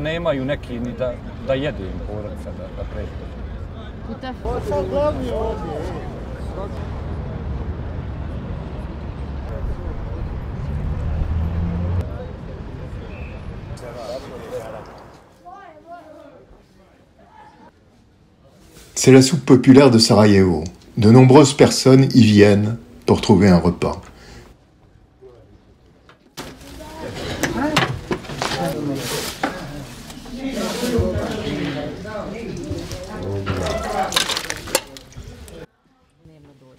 La responsable du lieu est vraiment très très en colère. Eh bien, regardez la brasserie de Sarajevo. Ils doivent 14 millions aux impôts. Et c'est pas un problème. Qui autorise ça Moi, je dois 50 euros. Mes employés n'auraient pas de sécurité médicale. Et ce sont des magouilles. En plus, tout le monde est au courant. Tout le monde. Dođi, ajde, ajde, čekamo. Bravo, majstore, šampion. Pa se ti igraju sa polufinale, finale i ostalo. Drugo. Izvolite. Majstor vas. Da, jeste. Evo ga sada šampion. A to je da je prilikom spavanja. Živeli! I dobar borac. Zdravo, isto vas. Ali, narod ili ne vidi ili neće. C'est la politique. On n'avance pas. Rien, absolument rien n'avance. La politique au niveau de l'État, les cantons ne font rien. C'est une politique nulle. Le système des trois présidents, on ne peut rien faire avec ce système des trois présidents. Notre représentant ne peut rien faire si les, deux, si les deux autres ne sont pas d'accord. Personne ne peut rien faire. Le système est complètement immobile.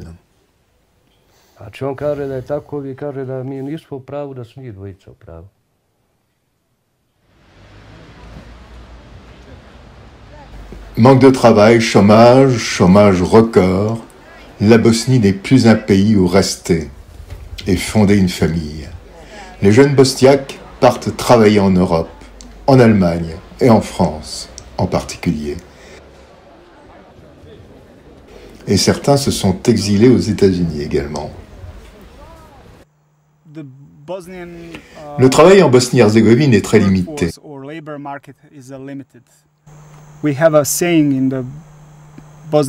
ne peut pas allier le pays, le travail et l'argent.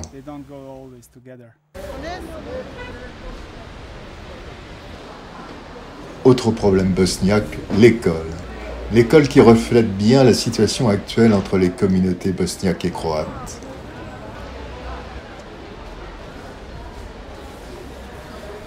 Ali kako smo mi sad prava dobro da nas svrstaju turve, getoizacija i tako to. Nous, on n'a pas un ministère d'instruction et d'éducation au niveau de, central, au niveau de la Bosnie-Herzégovine. On a 13 ministères d'instruction au niveau cantonal, au niveau de l'entité qu'on appelle fédérale.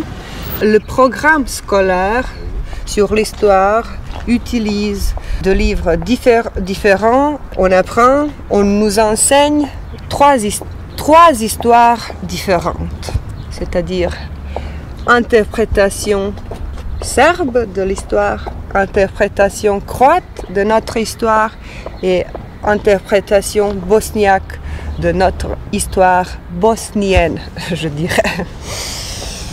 Donc?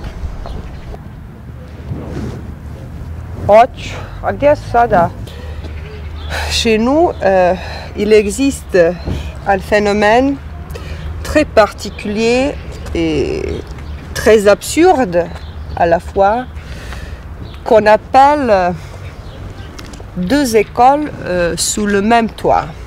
Par exemple, on a des écoles en plusieurs villages en Bosnie centrale où euh, on a des, communautés où vivent les Bosniaques et les Croates ensemble.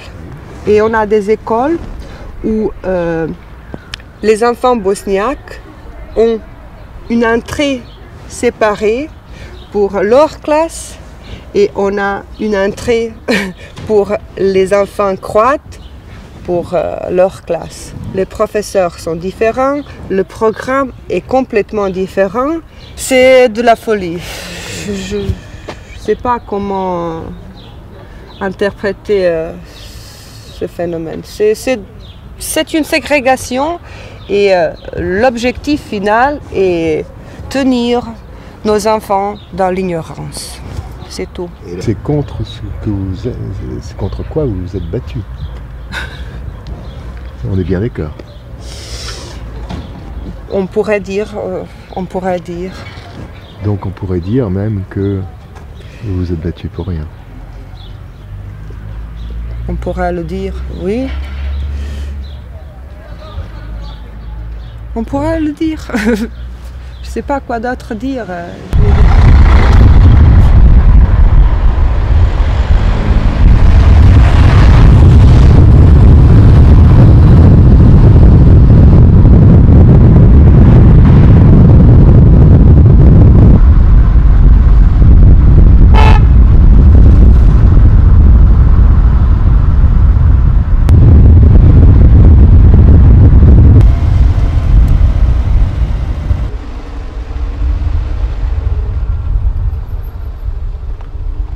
On passe par là car tu te rappelles, c'était la Sniper Alley de Dobrinja.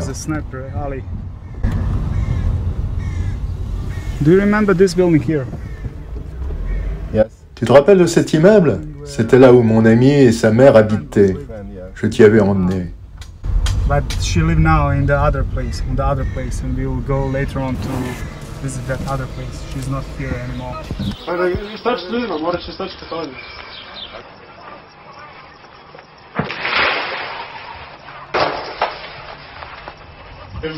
L'appartement est sur la ligne de front. Côté bosniaque, tout est intact. Côté serbe, tout est détruit.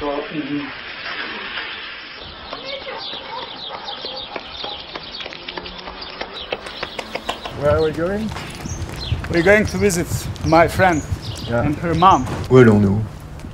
On va visiter la nouvelle demeure de mon amie Stella et de sa mère. Voilà, c'est là où elles sont maintenant.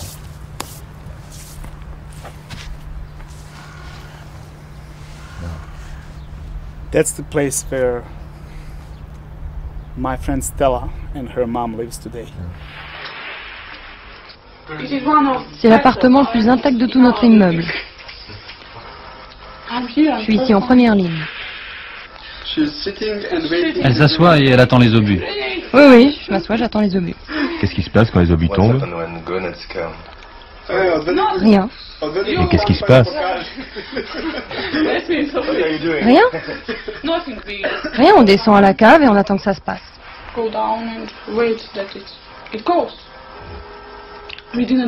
Nous, on n'a rien fait à personne. On ne veut pas quitter nos maisons, nos immeubles. C'est tout ce que nous avons. Nous n'avons rien d'autre ailleurs. Nous devons vivre ensemble, mais comment? Mon père ne m'a jamais dit de faire la différence entre les gens.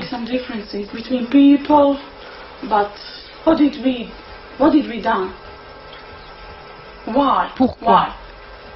Pourquoi tout ça? Pourquoi? Il y a trop de haine. Je sais pas pourquoi. Je sais vraiment pas pourquoi. Et maintenant, je, je pense que nous devons, nous devons instruire nos enfants.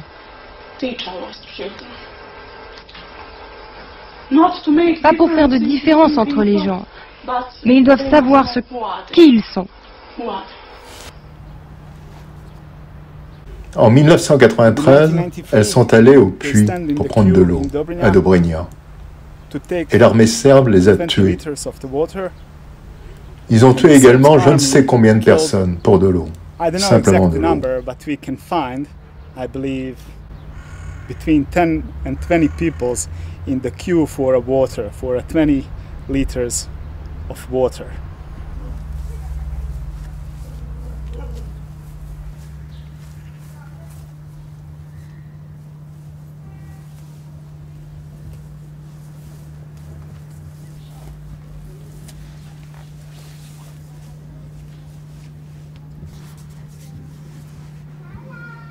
Uh, she was more than my friend. Ah, c'était une amie.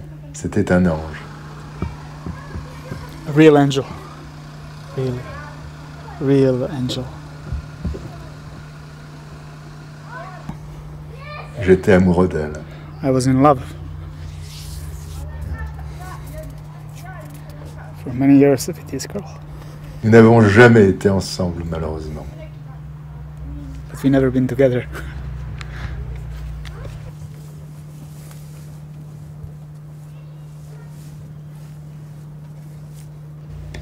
Alors la Bosnie est-elle sur le point d'exploser, comme certains le prétendent?